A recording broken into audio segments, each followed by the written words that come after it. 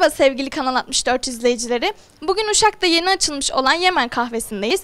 Türkiye'nin başka illerinde yaşamakta olan ancak Uşak'ta okumakta, çalışmakta olan, sevdiklerinin yanında olamayan, bayramı sevdikleriyle geçiremeyen insanlardan bayram mesajları alacağız. İyi seyirler. yanında olamadığım aile üyelerime, yurt dışında olan aile üyelerime e, bu bayram mutlu, huzurlu bir bayram dilerim. Ee, bayram tebriği olarak bütün arkadaşlarıma, herkese buradan içtenliklerimle selamlarımı sunuyorum. Saltuklu İnşaat olarak herkese iyi bayramlar diliyorum. Canım ailem sizi çok seviyorum. Hayırlı bayramlar. Canım ailem sizi çok seviyorum. Herkese hayırlı bayramlar. Canım ailem sizi çok seviyorum. Hepinize hayırlı bayramlar. Anneciğim babacığım seni çok seviyoruz. İyi bayramlar.